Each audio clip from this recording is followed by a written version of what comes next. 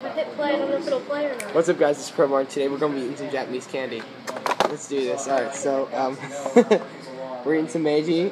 Uh, they're mushroom-shaped, like chocolate candies or something. Uh, but uh, basically, uh, so, some shrooms. but they're they're um basically what's in them is uh, I can't read Japanese, but I have it up on my computer here: sugar, wheat flour, cocoa mass, skim skim milk, stuff like that. Just there's no peanut butter. I can tell you that for a fact, 100%. But if you're allergic to wheat, if you have like some sort of like what was it? What's the thing? Wheat allergy. So yeah, yeast, uh, cocoa butter. If you're allergic to milk, don't eat it. If you have milk, no, don't eat it if you're allergic to milk. Now, without further ado, my tray of wonderful feels like that.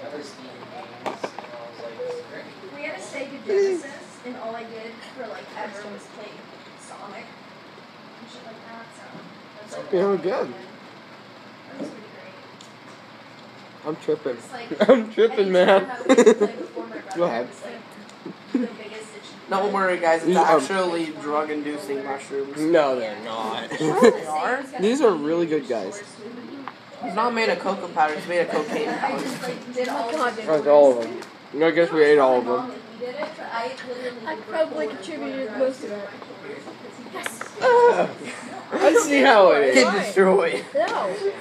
Alright, well, I'm just gonna end this video here. Like, comment, subscribe. You know what you guys do best, and I'll see you guys in the next video.